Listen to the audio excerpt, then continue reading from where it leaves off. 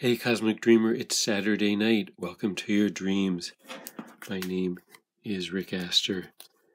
Today is December 24th, 2022, Christmas Eve. Let's see what's in the cards.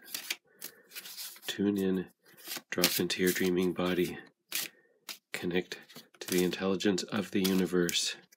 I'm starting with a card from the Voyage of the Soul Oracle Mystery.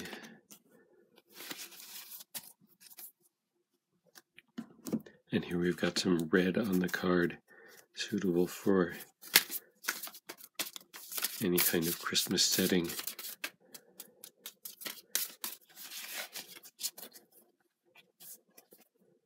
There's mystery every day, but especially about new things that come about.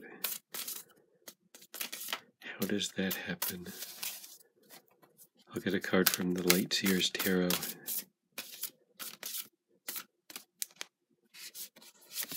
Here's a card sticking out Two of Cups.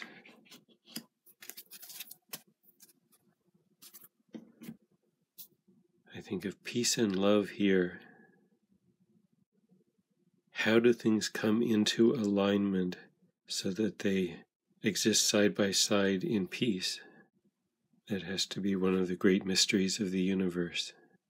Maybe tonight you'll see some version of that that question, that answer demonstrated. Even after seeing the demonstration, I'm sure it will still be a mystery.